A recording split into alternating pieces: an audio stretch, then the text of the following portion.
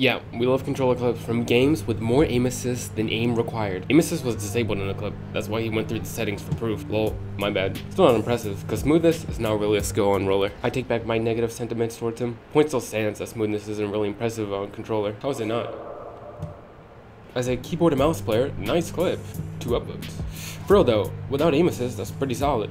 No downvotes. And then this guy caught all, literally all of the strays. He just said, nice.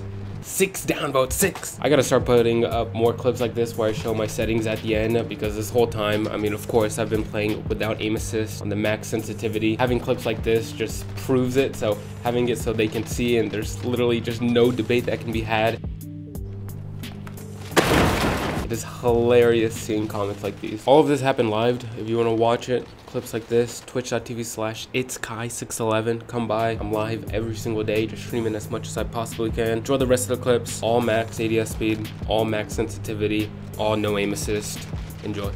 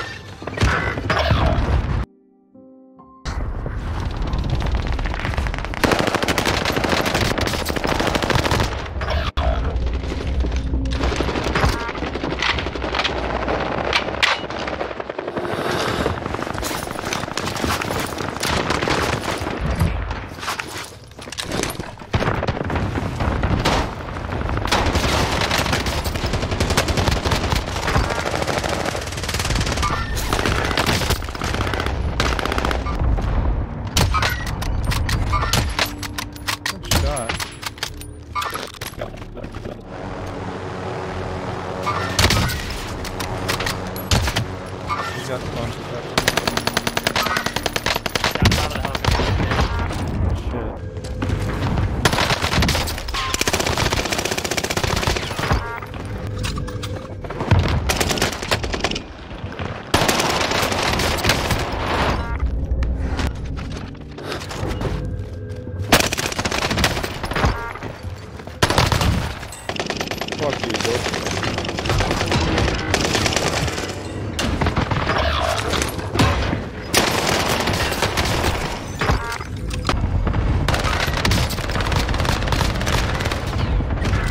Puta suerte que tengo en serio, güey.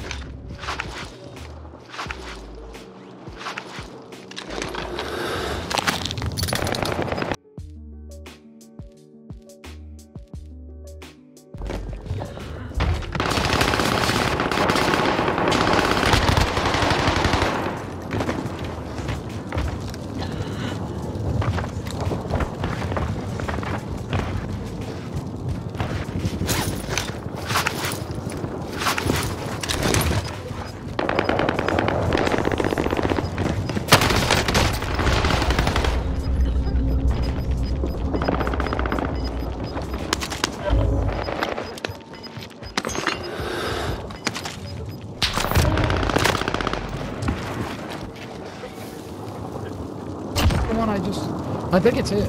Uh,